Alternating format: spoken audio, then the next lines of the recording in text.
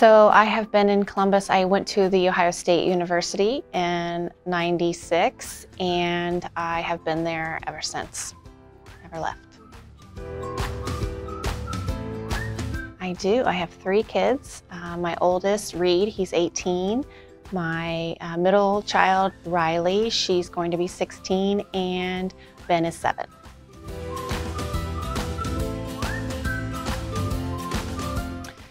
I would say it's actually outside on our patio. So we uh, live in New Albany and we have almost an acre with a creek that flows through and trees.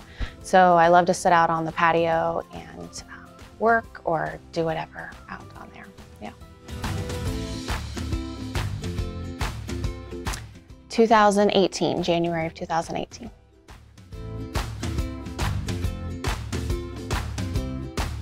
I think my favorite part is definitely all the people that I've met. I didn't realize in real estate the different dynamics of people and their situations.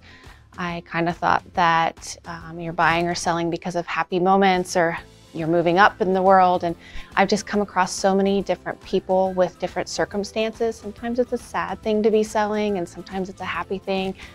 Um, so I just feel like I've met so many different kinds of people and I just love getting to know about their life and trying to help them navigate through that because sometimes it's it's hard and I recognize that. So I just I love all the different people that I've met.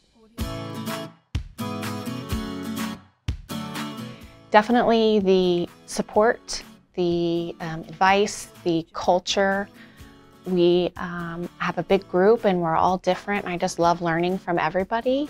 I definitely would not be as successful as I am if it wasn't for this Raines Group team.